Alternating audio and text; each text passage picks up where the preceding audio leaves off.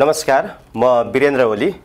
रातो पार्टीको विशेष संवादमा छौँ। आज हामी राष्ट्रिय स्वतन्त्र पार्टीका नेता एवं काठमाडौँ क्षेत्र नम्बर आठका सांसद विराज भक्त श्रेष्ठसँग कुराकानी गर्नेछौँ आजको यस रातो पार्टी विशेषमा स्वागत छ। थ्याङ्क यू के छ भर्खरै अब राष्ट्रिय स्वतन्त्र पार्टीबाट निर्वाचित हुनुभएको छ लोकप्रिय मतसहित होइन? यो चाहिँ अपेक्षित थियो कि नतिजा अनपेक्षित के छ खास? कोसिस थियो होइन कोसिस गर्नु पर्ने थियो। अब त्यतिखेर हामीले लाग्दाखेरि सफल होला असफल होला थाहा थिएन तर अब यो कोसिस नगरी चाहिँ हुँदै हुँदैन भन्ने थियो। सो त्यो अनुसार एउटा महत्त्वपूर्ण तरिकाले नागरिकहरूले अनुमोदन गर्नुभएको छ। सो जिम्मेवारी पाएको छौँ अब त्यसलाई निभाउनु पर्ने छ। जस्तो अब गठबन्धनकै उम्मेदवार हुनुहुन्थ्यो भालवाला मन्त्री नै हुनुहुन्थ्यो यता एमाले जस्तो बलियो पार्टी पनि थियो। अनि त्यसले गर्दा चाहिँ अब जित्न अलिक गाह्रै गाह्रै होला भन्ने जस्तो परेको थिएन। त्यही त जित हार भन्दा पनि मलाई चाहिँ के लाग्छ भन्दाखेरि अब अब मान्छेहरूमा एउटा खालको आक्रोश चित्त नबुझाइ कहाँ पुग्यो भन्ने र हाम्रो सम्भावनाहरू चाहिँ हामीले कहिले खोज्ने भन्ने चिजमा चाहिँ नागरिकहरूले अनुमोदन गर्नुभएको जस्तो लाग्छ। गाह्रो त अब तपाईँले के सरप्राइज जस्तै भयो कि? कतै अब हातरी त्यसरी। सोच्दै त्यसरी सोच्दै सोचेन होइन। सो एउटा कोसिस गर्नुपर्छ लाग्ने हो भनेर गर्दाखेरि चाहिँ यो जिम्मेवारी पाएँ जस्तो लाग्छ मलाई। भनेपछि अब लागि लाग्दा पाए आए आइहाल्यो नआए ठिकै छ भने जस्तो। त्यस्तो पनि होइन त्यस्तो पनि होइन। किन भन्दा हामी त पहिलादेखि अब त्यहीँ जन्म्या हुर्क्या त्यो समाजप्रतिको त्यहाँको नागरिक हाम्रो त सबै फेरि दाजुभाइ इष्टमित्रहरू नै हो होइन? उहाँहरूप्रतिको दायित्व त पहिला राजनीतिमा नलाग्दा पनि बोकेरै हिँड्या हो फेरि परिवार पनि बुवाबाट अध्यक्ष हुनुहुन्थ्यो। समाजसेवामा नै लाग्नु भएको मान्छे नि शुल्क स्वास्थ्य केन्द्रदेखि लिएर विद्यालयहरू मठ मन्दिर बनाउने होइन। सो त्यो चाहिँ रिगार्डलेस अफ एनिथिङ गर्नुपर्ने चाहिँ गर्ने भन्ने नै थियो। तर जस्तो अब संसदको चौथो शक्ति भइसक्यो तपाईँको पार्टी बिस सिट सहितको कतै चर्चा पनि छैन। अब तपाईँको बैठकहरू होला या अरू केही समीक्षा होला चुनावको। किन यस्तो सुनसान जस्तो भएको? कस्तो राम्रो लाग्यो क्या मलाई यो चाहिँ। किन भन्दा अब नत्र अहिले अहिले अरू कुनै चौथो शक्ति अथवा त्यो पुरातन दलै भइदियो भए कति भिडभाड हुन्थ्यो होला कति मसलाहरू हुन्थ्यो होला होइन? मलाई एउटा राम्रो लागेको चाहिँ के भन्दा यस्तो सरल शान्त तरिकाले नै गइरहेछ। पुरातन शैलीका दलहरू अब सत्ता सत्ता निर्माणको लागि सरकार निर्माणको लागि उद्वेलित भइरहेछन् भागदौड छ होइन? सो यो नै हो परिवर्तन। पहिला जस्तो त्यही मात्र लाइमलाइट हुनु अब नयाँ दलै भनौँ भने सिके रावतले एक सिट जितेको व्यापक चर्चा छ फेरि होइन? देख्नु भएको छ मिडियामा अनेक किसिमको आइरहेको छ तर तपाईँहरूको चाहिँ त्यस्तो केही पनि छैन। बैठक पनि हुनुपर्ने चुनावको समीक्षा होला समानुपातिकको लिस्टको तयार गर्नुपर्ने छ। किन त्यस्तो भएको? अलिअलि त हुनुपर्ने बहस छलफल त हुनुपर्ने नि होइन र यो त? लर्निङ बाई डुइङ हो जस्तो लाग्छ। पार्टी नयाँ पनि छ होइन? एउटा खुला किताब जस्तो छ होइन?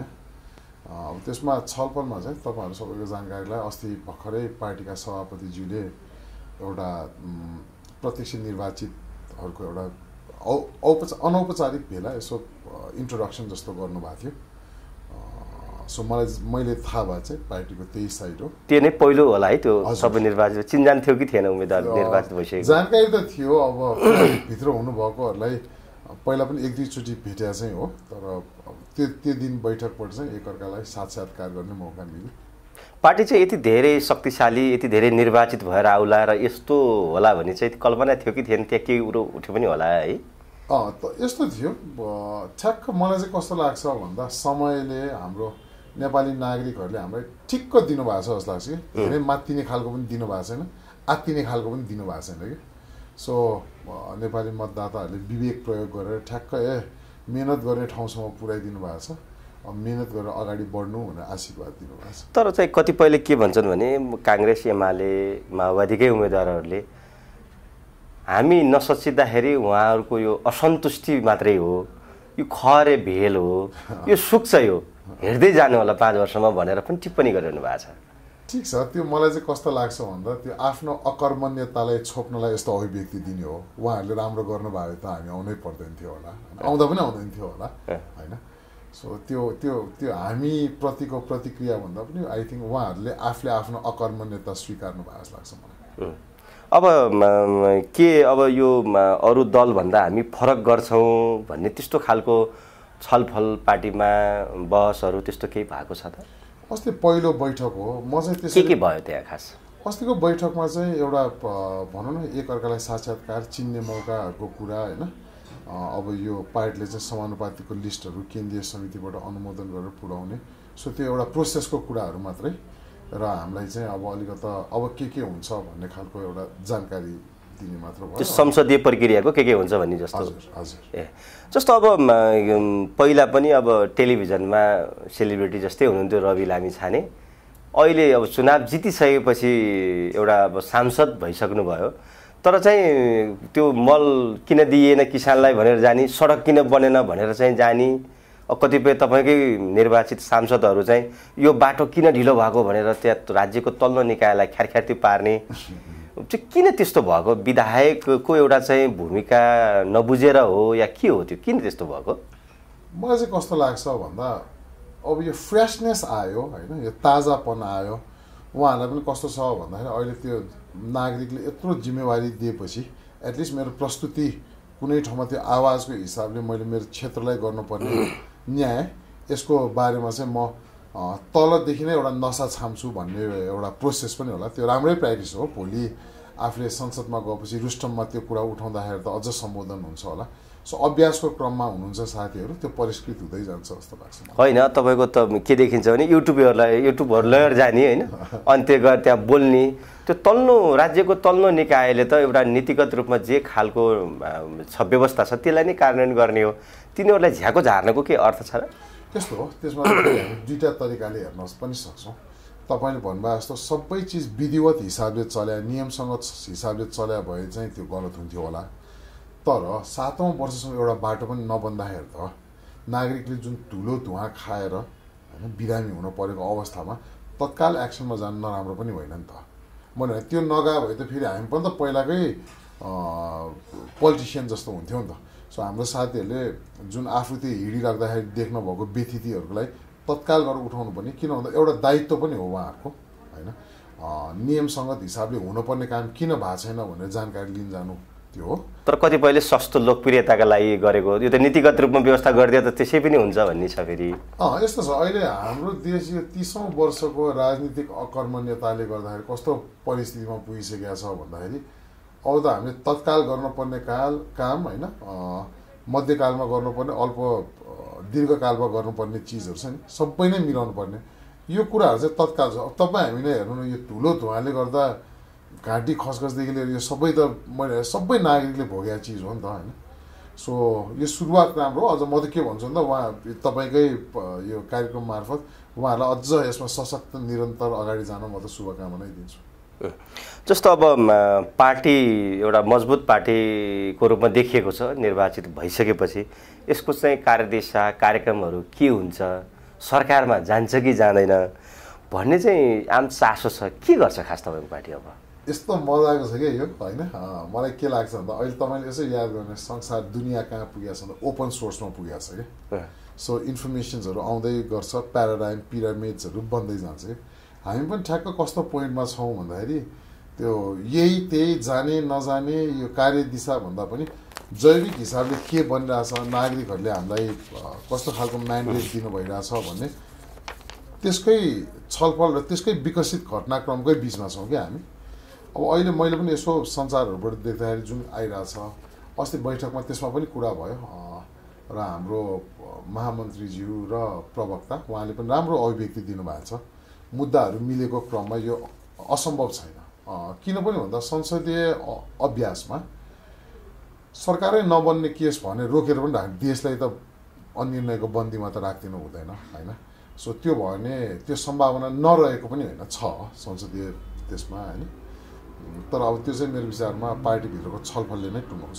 भनेको सरकारमा जाने कि नजाने त के हुन्छ भनेको अलिक कुरा प्रश्न आएन। त्यो त यस्तो छ। मैले गठबन्धनको त बहुमत पुग्ने स्थिति देखिसक्यो। चार पाँच सिट मात्रै कम छ त्यो पनि सिकेर छलफलमै भयो हुनाले पुग्ने देखिन्छ। हजुर। तर त्यो अवस्थामा तपाईँहरू जानुहुन्छ कि जानुहुन्न सरकारमा? म अलिकता हजुरलाई यसमा अलिकता अलिकता भूमिका भन्छु त्यो अभ्यासमा कस्तो छ भन्दाखेरि हामीलाई नागरिकले दिएको म्या म्यान्डेट भनेको प्रतिपक्ष नै हो। क्लियर कुरा होइन? तर कस्तो भन्दा त्यहाँभित्रको एउटा राजनीतिक अभ्यासमा चाहिँ हामी बिना सरकारै बन्दैन भए त रोकेर त बसिदिनु भएन। तर त्यो समर्थन निशर्त हुँदैन। त्यसका शर्तहरू छन् होइन? त्यसको? त्यसको शर्तहरू जस्तै हाम्रो प्रवक्ताजीले पनि के राख्नु भएको छ भन्दा हाम्रो घोषणापत्रमा भएको कुराहरूलाई सम्बोधन गर्छ भएदेखि यहाँ त भ्रष्टाचारका कुराहरू पनि छन् होइन? त्यसको अब कारवाहीका कुराहरूलाई होइन? तपाईँको त्यसको प्रक्रियाका कुराहरू होला होइन? अरू मुद्दा जस्तै मेरो तर्फबाट भन्नुहुन्छ भने मेरो लागि वातावरणको मुद्दा महत्त्वपूर्ण छ होइन? सो ती शर्तहरू हुन्छन् पदको लागि चाहिँ हुँदैन। यति चाहिँ म तपाईँलाई जस्तो अब पार्टीभित्र पनि अब बाहिर पनि चर्चा भइरहेको छ यो पार्टी चाहिँ वामपन्थी हुन्छ कि या कम्युनिस्ट या डेमोक्रेटिक हुन्छ कि कस्तो पार्टी बन्छ भन्ने छ? कस्तो पार्टी हो खास यो पार्टी? न्यूनतम अरू अरू त्यो एकदम तपाईँको डिटेलमा जानुभन्दा यो पार्टी चाहिँ लोकतान्त्रिक पार्टी नै हो डेमोक्रेटिक पार्टी नै हो। Democratic party. कतिपयले फेरि यो लेफ्ट नै हो भन्ने टाइपको पनि सोसलिस्ट जस्तो पार्टी बन्छ भनेर भन्नुभएको छ। यस्तो छ अलिकति कस्तो छ भन्दा हाम्रो संविधानै समाजवाद होइन उन्मुख संविधान भनेर भनिदिइसकेपछि त एक हिसाबले त्यहाँ नै अलिकति त्यो साइड चाहिँ आएको छ। तर म चाहिँ यो पार्टीको यसो नेचर हेर्दाखेरि चाहिँ म मध्यममार्गी देख्छु होइन। तर त्यो सार सङ्ग्रहवादवाला मध्यममार्गी होइन होइन। गतिशील मध्यममार्गी देख्छु। किन भन्दा तपाईँले यसो हाम्रो साथीहरूको अभिव्यक्ति हेर्नुभयो भने कस्तो अनेस्ट खालको छ क्या। कुन कुरामा चाहिँ हामी लेफ्टिस्ट हुनुपर्छमा पनि क्लियर छ कुन कुरामा चाहिँ हामी अलिकति राइट हुनुपर्छ पनि क्लियर छ कि त्यो दुइटैलाई सन्तुलनमा ल्याउनु चाहिँ मध्यम मार्गकै हो कि सो मध्यम मार्ग चाहिँ बेन्च मार्क भएर कुन टपिकमा कुन विषयमा लेफ्ट हुने कुन विषयमा राइट हुने चाहिँ छलफलले भनेको अलि लोकतान्त्रिक पार्टी नै भन्छ डेमोक्रेटिक पार्टी नै भन्छ। पार्टी त बन्छ होइन पार्टी त डेमोक्रेटिक हुन्छ नै हुन्छ नै हो नै। तर कतिपयले के भने त्यो पार्टीभित्र चाहिँ अनेक खालका मान्छेहरूको जमघट भएर राष्ट्रिय स्वतन्त्र पार्टी बनेको छ जहाँ काङ्ग्रेस एमाले माओवादी या राजावादी भएका पार्टीमा आबद्ध भएको हुन्। यहाँ जोडिया हुनाले एउटा खिचडी जस्तो छ यो पार्टी। त्यस कारणले गर्दा त्यही भित्रै रुमलिन सक्छ भन्ने कुरा पनि छ क्या त्यो त अब यस्तो हो मलाई त के लाग्छ किन भन्दा विभिन्न विचारहरूको चाहिँ एउटा केन्द्रीकृत हो त्यो पार्टी भन्ने छ कि त्यो त झन् राम्रो कुरा होइन जस्तै कङ्ग्रेसमा त काङ्ग्रेसी विचार मात्र हुन्छ लेफ्टमा त लेफ्टिस्ट मात्र हुन्छ हाम्रोमा त सबै विचारहरूलाई त्यो सबै विस्फोट हुँदाखेरि चाहिँ चारैतिर फैलिने पनि हुनसक्छ भन्ने छ कि तर सबैलाई सम्बोधन भयो भने नेपाललाई चाहिने कुरा पनि आउँछ होला नि त। सो मैले भने डिटेल तरिकाले हेर्न सकिन्छ। फेरि प्लस म तपाईँलाई के चाहिँ निवेदन गर्छु भन्दा त्यो पार्टीको निर्माण क्रमको बारेमा मलाई धेरै जानकारी चाहिँ छैन फेरि। मैले जे जति जानकारी त्यहाँ साथीहरूसँग कुरा गर्दा उहाँहरूलाई हेर्दाखेरि बुझ्या नै हो होइन?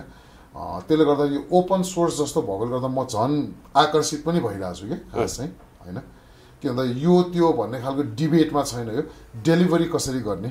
अहिलेको लागि चाहिँ हामी जस्तै कस्तो छ भन्दा अस्तिको बैठकमा पनि हामी सबैजनाको एउटा निष्कर्ष जुनमा सहमति भयो। अर्को पालिसम्म बहुमतको सरकार बनाउने योग्य चाहिँ हामी कसरी बन्ने चाहिँ हाम्रो उद्देश्य हो भनेर हामी हिँडेका छौँ। तपाईँ आफै चाहिँ पहिला यो पार्टीमा आबद्ध नहुँदा कता हुनुहुन्थ्यो? म त्योभन्दा अगाडि बिचको टाइममा त बिएसएल साझाबाट राजीनामा दिएर बसेको थिएँ। त्योभन्दा अगाडि बिएसएल साझामा थिएँ। अरू पार्टीमा आबद्ध छैन, परि- पारिवारिक रूपमा पृष्ठभूमि? छै मेरो पारिवारिक बुवाहरू कङ्ग्रेस नै हो होइन। तर म टोल सुधारको पनि एउटा सदस्य पनि नभए मान्छे म। म बिस वर्षको उमेरमा आत्मनिर्भर हुन्छु भनेर पर्यटन व्यवसाय एकदम ग्रासरुटबाट सुरु गरे मान्छे रेस्टुरेन्टमा अब आफ्नो कामहरू वेटर वेटर पनि भए मान्छे हो यसो मन्त्री हुन पाए हुन्थ्यो भन्ने चाहिँ होइन छैन। किन भन्दाखेरि। हामीले परिकल्पना गरे कस्तो नेपाल हो भने हरेक नागरिक मन्त्री सरह सशक्त हुनुपर्छ भन्ने परिकल्पना गरे हामीले त के त प्रदेशमै पनि त मन्त्रीको अफर गरे हामीले नल्यायो हो नि त. अनि जस्तो अहिले धेरैले प्रश्न पनि गरेका छन् आशंका पनि गरेका छन्। अहिलेको परिवर्तन गणतन्त्र सङ्घीयता धर्मनिरपेक्षता समानुपातिक समावेशिताका एजेन्डाहरू यथावत रहन्छन् कि रहँदैनन् भन्ने कुरा छ।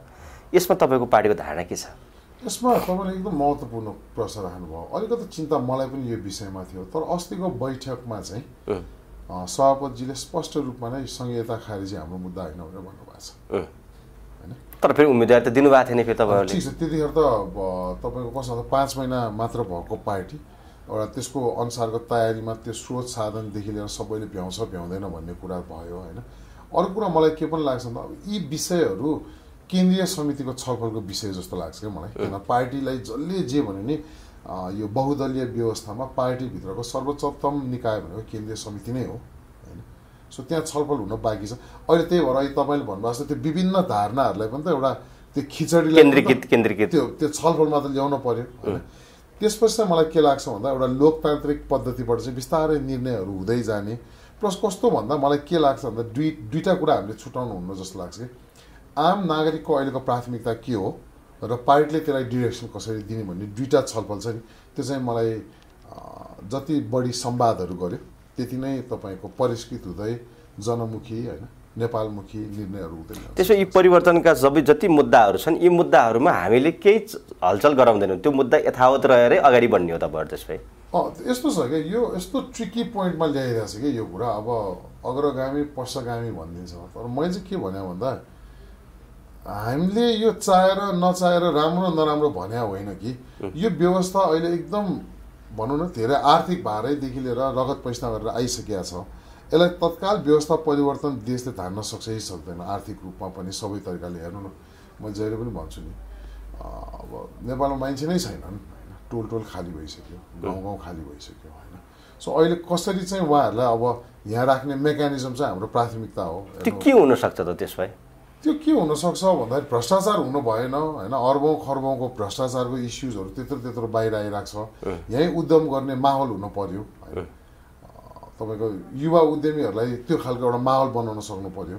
मान्छे भनौँ न प्लस टू सक्दा साथै अमेरिका युरोप जान खोज्छन् होइन? तर अब कतिपयले के भन्छन् त्यत्रो सेनादेखि त्यत्रो जनमतसहित र त्यो सङ्गठनसहित आएको त्यो माओवादी त रूपान्तरण गर्न नसकेर फेरि त्यही काङ्ग्रेस एमाले जस्तो भयो भने राष्ट्रिय स्वतन्त्र पार्टीले कसरी सक्ला र भन्ने छ कि प्रश्न छ।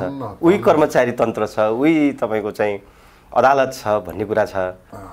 होइन धन्न एउटा कुरा चाहिँ के राम्रो भन्दा।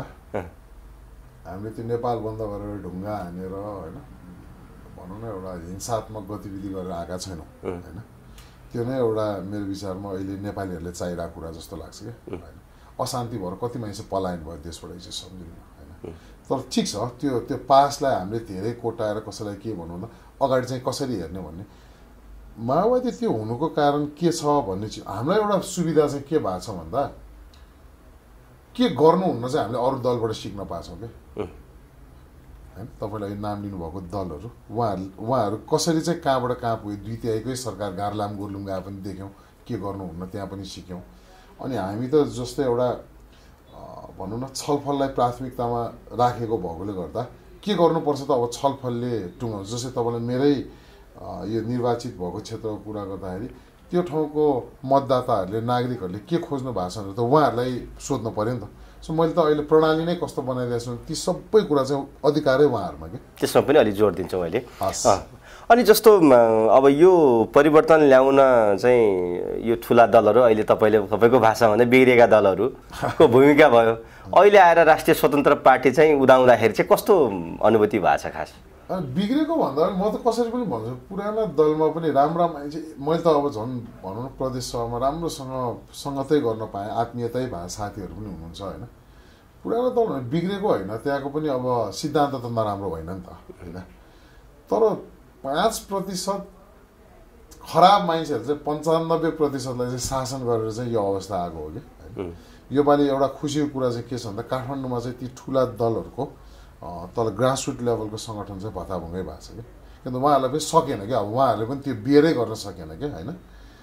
त्यो मलाई किन लाग्छ भन्दाखेरि अब चाहिँ एउटा जनभावना कस्तो भन्दा पार्टी ब बनाउने कि देश बनाउने भन्ने कुरा हुँदा पार्टी बचाउनु भन्दा त देश इम्पोर्टेन्ट हो भन्ने कुरा त बढी चेतना आयो नि त। झन् अहिले जुन मैले अहिले मध्यम मार्गको अस्ति पनि एउटा अन्तर्वार्तामा कुरा गरेपछि धेरै पुराना दलका साथीहरू हामीप्रति आकर्षित पनि हुनुभएको छ क्या। उहाँहरूले बुझ्नुभयो क्या अब चाहिँ। ए हाम्रो सिद्धान्त यहाँनिर चाहिँ काम लाग्दो रहेछ। त्यो सिद्धान्तै मात्र च्यापेर बस्दाखेरि त देश बन्दैन रहेछ। भनेपछि हामी अलिकति फ्लेक्सिबल कहाँनिर चाहिँ हामी प्र्याग्मेटिस्ट हुने कहाँनिर प्युरिस्ट हुने चाहिँ मध्यम मार्गमा मात्र ठाउँ रहेछ। भन्ने खालको पनि भएको छ। सो चेन्ज आइरहेछ भन्छु म. अनि जस्तो अब अहिले जितिसकेपछि मुख्यतः त्यहाँको काम के केमा अलिक बढी व्यस्त हुनुहुन्छ अहिले? यो निर्वाचित भइसकेपछि। यो चाहिँ मलाई एकदम रमाइलो लागेको छ। मैले त्यही पहिला पनि भनेको थिएँ। उम्मेदवारी दिएपछि मैले मेरो हाम्रो समाजलाई एकदम नजिकबाट चिन्ने मौका पनि पाएँ कि। किन त पहिला तपाईँ हामीले यत्तिकै चिनेर त्यो उम्मेदवारी दिँदाखेरि समाजभित्रको धेरै समस्याहरूको बारेमा जानकारी पनि पाउने रहेछ अनि निर्वाचित भएपछि चाहिँ मलाई एउटा एकदम रमाइलो चाहिँ के लागेको छ भन्दाखेरि अहिले चाहिँ अरूभन्दा पनि म क्षेत्रको नागरिकहरूलाई धन्यवाद भन्दै जहाँ जहाँ बोलाउनु भइरहेछ महिला समूहदेखि लिएर होइन सहकारीकै कार्यक्रममा किन गइरहेछ भन्दा उहाँहरूसँग सुझाव पनि लिँदैछु कि? सो तपाईँहरूले कसरी हेरिराख्नु भएको छ होइन भनेर। सो यसले चाहिँ अलिकति मलाई एकदमै बढी जिम्मेवार र विनम्र पनि कसरी बनाएको छ हाम्रो त सङ्गठन केही पनि छैन जिरो सो अहिले चाहिँ उहाँहरूले हामी नै हो तपाईँको सङ्गठन भन्न थाल्नु भएको छ कि के गर्नुलाई? जनसङ्गठन जस्तो सङ्गठन त अब के के चाहिँदै चाहिएन कि? सो त्यहाँबाट चाहिँ त्यस्तो खालको प्रतिक्रियाहरू आइरहेछ। अनि एउटा रमाइलो चाहिँ के भन्दा झन् हामी त काठमाडौँवासीहरू सानो एउटा यहाँबाट पोखराईसम्म जाने भन्यो भने टिका लाएर फुल लाएर पठाइदिने होइन? अहिले झन् निर्वाचित भएकोले गर्दा झन् युवा भएकोले गर्दा म त घर घर पस्न पाइरहेको छु भान्सा भान्सा पसिरहेको छु होइन त्यहाँ अब आमा दिदी के कुरालाई अलिक बढी फोकस गर्न भन्नुभएको छ उहाँ उहाँहरूले सुशासनै भन्नुभएको छ। सुशासन? सुशासनै भन्नुभएको छ। के भएन अरे? के भयो खास? सानोतिनो कामको लागि पनि कति दुःख पाएको। मेलम चाहिँ आउँछ भने बाइस वर्ष भयो पानी अहिलेसम्म खान पाएको छैन। आधारभूत कुरामै अड्केर बसेका छौँ। यो सबैको जड चाहिँ सुशासन है विराज यो तिमीले उठाउने कुरा भनेर चाहिँ तिमीलाई यहाँ विकास निर्माण मलाई ढल पानीको बारेमा हामी तिमीलाई दुःख दिन्नौ। हामी यो कुरा वडामा भन्नुपर्ने सम्बन्धित निकायमा चाह्यो भने तिमी बोलाइदिन्छु पहल गरिदिनु। तर तिमीले चाहिँ त्यहाँ रुस्टममै गर सुशासनको पक्षमा। तिम्रो काम भने यो विकास निर्माणको यो वडाले गर्ने काम प्रदेशले गर्ने काम होइन। हामीले यो बुझेका छौँ। संसदमा गएर तिमीले संसदीय भूमिकामा हामीलाई पनि गौरवान्वित हुने गरेर काम गर्नुपर्छ भन्नुभएको छ. त्यसो अब संसदमा गएर फोकस हुने अरू सांसदभन्दा तपाईँको भूमिका के? त्यो सुशासन अरू के के हुन्छ? सुशासन वातावरण भइहाल्यो होइन पर्यावरणको कुरा किन भन्दा कतिले यो कुरालाई एकदम नजरअन्दाज गर्नु भएको छ पहिलादेखि। जलवायु परिवर्तनको असरको रेड जोनमा नेपाल पर्छ क्या मालदिभ्स पर्छ क्या मालदिभ्स भन्ने देश त कति सन् कतिमा त हराउँदैछ पानी डुब्दैछ। हाम्रो पनि यो जति पनि ग्लेसियरहरू मेल्टिङ सिन्धुपाल्चोक बाल बागलुङमा गइरहेको पहिरोहरू जलवायु वायु परिवर्तनको असर हो। काठमाडौँको जमिन मुनिको पानी पच्चिस वर्षमा सुक्दैछ। के भन्छ मधेसका कति ठाउँहरू मरुभूमिकरण हुँदैछ होइन? सो यो जलवायु परिवर्तन फेरि जलवायु परिवर्तन र पर्यावरणको कुरा धेरैसँग जोडिएको छ कि रोजगारीसँग महिलासँग। त्यो त हरेक क्षेत्रमा हरेक क्षेत्रसँग जोडिएको छ। जस्तै तपाईँले कस्तो मलाई यो उद्धारै गरिदिनु भयो यो प्रश्न सोधेर। जस्तो अस्ति मैले एउटा रिपोर्ट पढेको थिएँ पहिला महिलाहरू आधा घन्टा हिँडेर पानी पाउने चिज अहिले त्यो पँधेरीहरू सुकेर चाहिँ दुई घन्टा हिँड्दा पनि नपाउने। सो महिलाले दुःख पाइराख्नु भएको छ होइन? सो यो मुद्दा बढी उठाउँछु म। अनि अर्को चाहिँ अर्को चाहिँ अब सुशासन अघि तपाईँले भनिहाल्नु भयो होइन। सुशासनमा चाहिँ दुई पाटाले हेर्छु क्या। कसरी चाहिँ चुस्त छिटो छरितो सरकारी सेवा होइन? अर्को चाहिँ त्यो भ्रष्टाचारका पुराना मुद्दाहरूलाई चाहिँ अब के गर्ने भन्ने कुरा छ क्या। जस्तो त्यो त पुराना मुद्दाहरू पनि धेरै छन् भ्रष्टाचारका। अर्को कर्मचारी तन्त्रको मनोविज्ञानको कुरा। यो चेन्ज गर्न त निकै गाह्रो होला नि।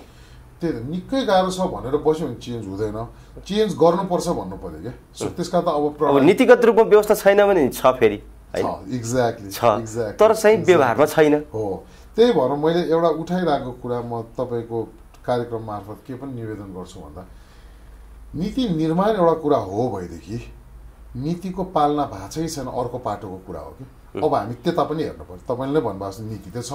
तर कार्यान्वयनको पार्ट भएको छैन हामी त त्यहाँ सरकारलाई खबरदारी गर्ने ठाउँमा हो नि त। भनेपछि उहाँले त्यसको कार्यान्वयनको झकझकाउनु पऱ्यो क्या। होइन?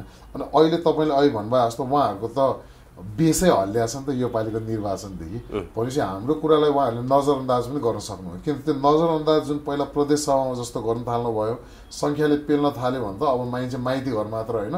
प्रतिनिधि सभाको हलैभित्र पनि छिर्छन् हस् व्यस्त समयको बावजुद पनि रातो पार्टीले समय दिनुभयो। त्यसको लागि धेरै धेरै धन्यवाद। थ्याङ्क यू थ्याङ्क यू सम्पूर्ण रातको पार्टी टिमलाई। हस्। आजको लागि हामी बिदा हुन चाहन्छौँ। यसरी नै हामी संवादका श्रृङ्खलाहरू लिएर उपस्थित हुन्छौँ। हस् त धन्यवाद।